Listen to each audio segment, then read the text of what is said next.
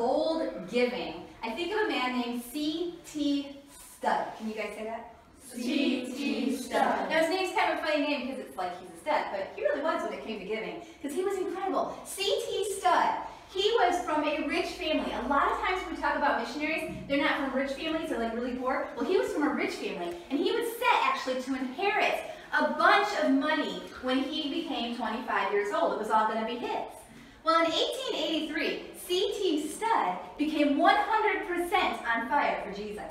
He wanted to serve Jesus. In fact, he wanted to go to the Chinese. So he went to the Chinese and he dressed like the Chinese. He ate like the Chinese. He learned to talk like the Chinese. And he served God in China.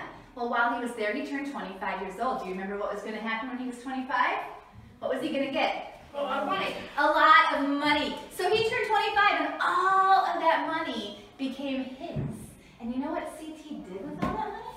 He gave it to missionaries. He gave it away. Before he even knew how much money exactly he was going to have, he started writing checks. And he started, he would write check out. He wrote a check out to George Mueller and the orphans. Were you guys, and you guys here when we talked about George Mueller and the orphans? Oh, yeah. Yeah. He wrote a check to their ministry, and he wrote a check to another ministry, and he started giving away money, and just giving it away, and giving it away, and giving it away. But he still had more money. So you know what he did? He gave the money to the woman he was going to marry. Thought, well, I can't get rid of all this money. I'm going to give it to the woman I'm going to marry. And then you know what she did? The woman that he was going to marry had the same idea, the same heart as he did, that she also gave the money away.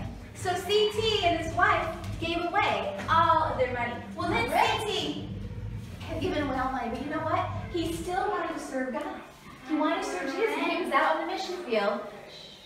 And when he was on the mission field serving God, there were several times where he didn't have money because he'd given it all away. And they were really short on money. And you know what CT would do? CT would say, Hallelujah! God trusts his reputation with us. He trusts us enough with his reputation. In other words, God's going to still provide for us. And he knows God is going to always provide, and God always did. Not only did CT give away his money, but eventually he ended up giving away his life. Because CT served God, not only in China, but also in India, and then eventually in Africa as a missionary. And when he was in Africa, he got very sick, and he ended up dying. And that is how CT died. Without money, but he had the riches of heaven in him because he gave. Now we need to be bold givers, just like CT, just like the woman in our story today, who gave all that she had. We need to be willing to give God, whether it's our money, and that's a big part. When we get older and we start making money, that's a big part, giving God money, giving your money away. But not only that, giving Him our time, giving Him our talents, and giving Him our life, saying, God, whatever you want me to do, I will do for you. And that is our example of bold giving.